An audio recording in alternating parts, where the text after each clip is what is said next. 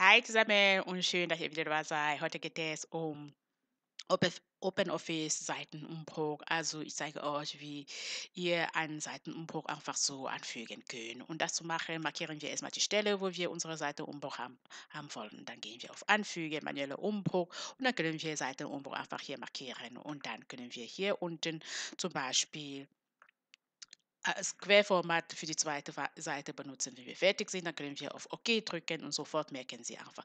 Wenn Sie zum Beispiel, also Sie haben gesehen, wir haben diese Seite Umbruch gemacht. Wenn Sie zum Beispiel das, das nicht mehr haben wollen und rückgängig machen wollen, dann gehen Sie auf Bearbeiten und dann rückgängig machen und sofort wird die Seite genauso wie vorher sein. Ich freue mich einfach, dieses Video mit euch geteilt zu haben und freue mich, wenn Sie meine Video mit Freunden so teilen können.